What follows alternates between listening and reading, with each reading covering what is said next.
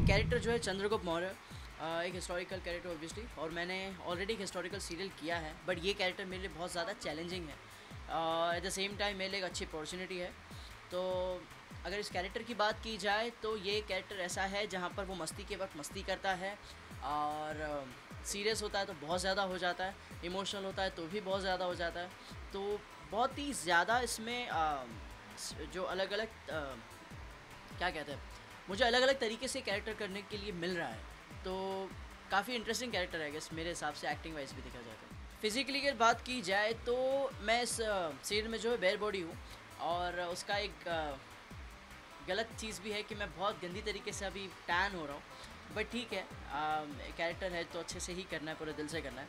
और फिज़िक की बात की जाए तो मुझे जितना वक्त मिल रहा है उतना मैं ट्राई कर रहा हूँ कि मैं अच्छे से अपनी फ़िज़िक पर ध्यान दे पाऊँ और डाइट फॉलो कर सकूँ।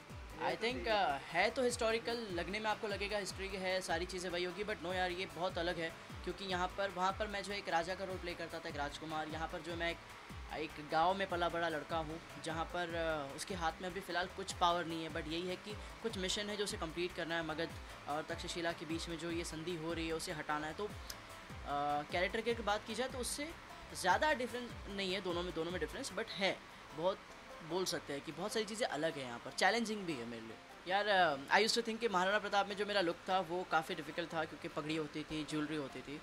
बट uh, यहाँ पर आई थिंक थोड़ा सा uh, मेरे लिए इस गर्मी में स्पेशली uh, थोड़ा सा डिफ़िकल्ट हो रहा है क्योंकि ये बाल हर रोज़ लगाना बाद में शॉर्ट के बीच में गिर जाता है कभी कभी निकल जाता है।